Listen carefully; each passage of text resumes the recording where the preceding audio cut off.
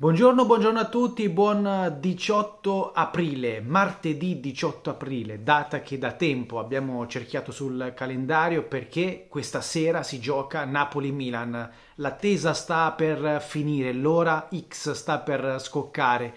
Dentro o fuori, paradiso o inferno, tutto si deciderà alle ore 21 di questa sera, però vi faccio vedere cosa è successo ieri sera intorno alle 10 e mezza, 11, forse anche più tardi, sotto l'hotel Vesuvio, l'hotel che ospita il Milan eh, qui a Napoli. Eh, prima di farvi vedere, vedere, il video vi ricordo che potete ovviamente iscrivervi al canale se il lavoro che eh, insomma vi sto proponendo eh, vi piace. Guardate il video e poi lo commentiamo insieme.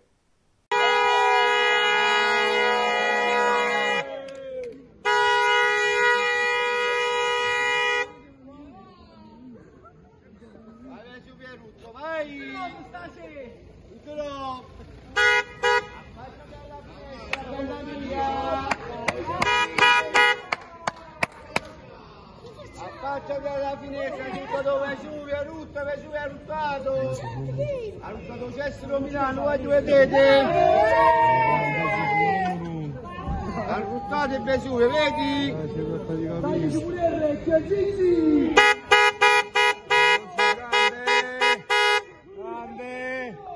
E insomma era annunciato no, l'arrivo dei tifosi sotto l'hotel del Milan, lo abbiamo scritto anche nei giorni scorsi, lo abbiamo detto anche nei giorni scorsi, tifosi del Napoli che si sono radunati eh, proprio per eh, creare un disturbo, provare a disturbare il sonno, eh, diciamo provare a disturbare il riposo dei giocatori rossoneri di Stefano Pioli prima di un evento così importante e oltre a questo video insomma ce ne sono tanti altri che girano in rete eh, Cori contro Teo Hernandez Cori contro Paolo Maldini insomma ehm, i bersagli sostanzialmente sono sempre gli stessi Teo Hernandez più, de- più degli altri anche se ripeto nei giorni scorsi per quanto riguarda Teo c'è stata una bruttissima e vergognosa pagina con insulti molto pesanti al giocatore e a suo figlio sulla pagina Instagram. Poi da quello che abbiamo capito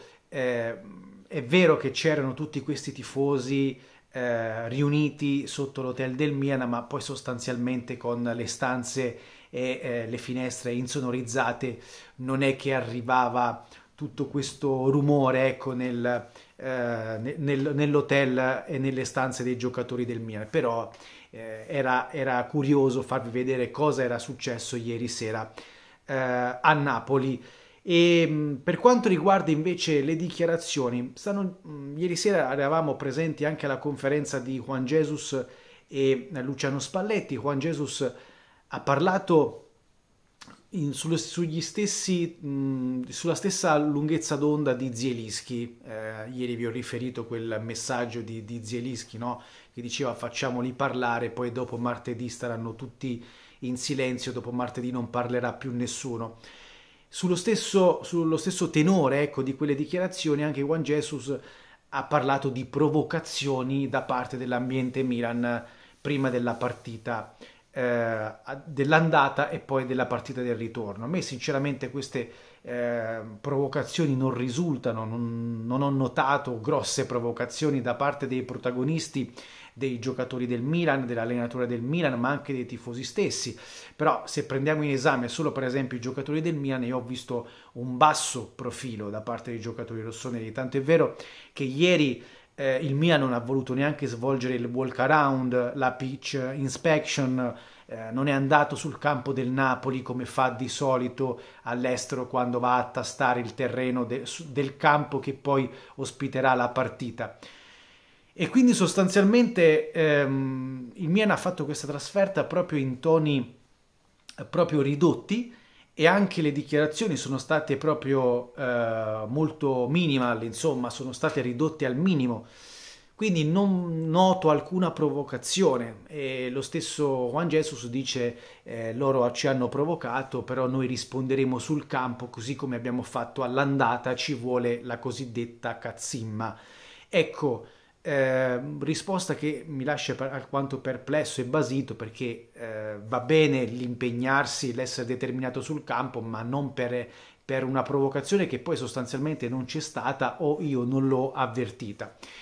Passiamo anche e soprattutto però alle questioni di campo, perché poi questa sera eh, si gioca, si gioca, la partita vale tantissimo, vale il ritorno in eh, semifinale da parte del Milan o l'accesso in semifinale da parte del Napoli. Per il Napoli sarebbe un risultato storico, per il Milan lo è altrettanto, ma il Milan è un po' più abituato avendo vinto sette volte la Champions League. Ebbene, l'ultima volta che il Milan è arrivato in, um, in semifinale di Champions League è stato nel 2007, quindi praticamente 16 anni fa, quando poi ha vinto la Champions League contro il Liverpool ad Atene. Eh, ecco, mm, quindi sono passati comunque tanti anni da quella, da quella partita, eh, vi do anche un po' di informazione. Abbiamo detto che ieri non c'è stata non c'è stato il walk around sul campo eh, del Napoli e non ci sarà oggi nemmeno il corteo da parte della curva sud rossonera che verrà direttamente accompagnata allo stadio. Saranno circa 2500 i sostenitori del Milan, quindi settore ospiti eh, tutto esaurito, saranno 2500 i tifosi, poi credo che ce ne saranno anche tanti altri sparsi nei vari settori dello stadio eh, azzurro, lo stadio Diego Armando Maradona eh, il Milan dovrebbe giocare con la maglia rossonera, quindi non con la classica maglia bianca delle notti Champions, delle trasferte Champions, ma con la maglia rossonera. Vedremo, quindi piccole informazioni eh, anche per, per, quanto riguarda la, uh, la partita di questa sera, piccole curiosità. Per quanto riguarda la probabile formazione, la stiamo uh, ripetendo da, da ieri. Cosa che però non abbiamo detto in queste, in queste ore è che l'ipotetico passaggio in semifinale da parte del Milan porterà altri 20 milioni di euro nelle casse dei rossoneri. E questo vuol dire avvicinarsi sempre di più al pareggio di bilancio, al break even e questo vuol dire dare una forte scossa, una forte impennata alla, alla, alla, all'aspetto finanziario e del bilancio del Milan. Quindi il passaggio del turno sarebbe fondamentale anche dal punto di vista economico, non solo dal punto di vista sportivo e della soddisfazione personale dei giocatori, della squadra, del club eh, e della dirigenza, ovviamente anche dei tifosi. Però eh, non sottovalutiamo anche l'aspetto economico e finanziario di, un, di questo eventuale passaggio del turno. Il clima è un clima molto teso, c'è tanta adrenalina, eh, molto coinvolgimento emotivo, quindi eh, si sente, si avverte questa partita anche eh, noi siamo a Napoli, vi, abbiamo fatto vedere già da ieri, insomma anche nei, nei vicoli, eh, nei quartieri napoletani eh, si avverte molto, non si parla d'altro, si parla solo ed esclusivamente di questa partita che per il Napoli è storica perché comunque loro non hanno mai avuto accesso ai quarti di finale di Champions e tutto d'un tratto possono addirittura arrivare in semifinale. Quindi il peso della partita si avverte, si sente e noi non vediamo l'ora di vederla questa partita, 90 minuti molto intensi, ma attenzione, potrebbero anche essere più di 90 minuti eh, se il risultato dovesse andare in un certo modo. Noi ci vediamo più tardi dallo stadio Maradona, un abbraccio a tutti e insomma eh, se i video che vi sto proponendo in questi giorni, in queste ore vi piacciono, iscrivetevi al canale, attivate la campanella, mettete like e diffondete. Ciao!